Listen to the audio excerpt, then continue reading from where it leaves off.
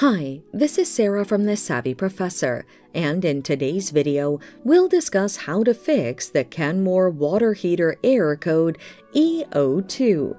But first, what does error code E02 mean?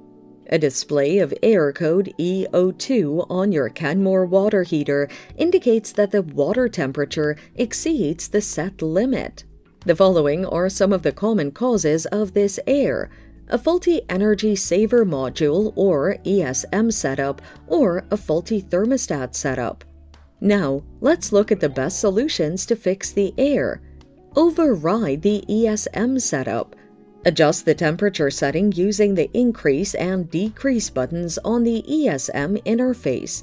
If the module is unresponsive to temperature adjustment, unplug its connection with the main control and adjust the set point knob in the electrical thermostat to regulate the temperature.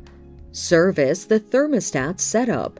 If the thermostat set point knob is unresponsive too, check the voltage supply to this setup and repair or replace faulty connections if there's no or low voltage. Also, check the setup for faulty components such as the control thermistor, microelectronics, and connectors.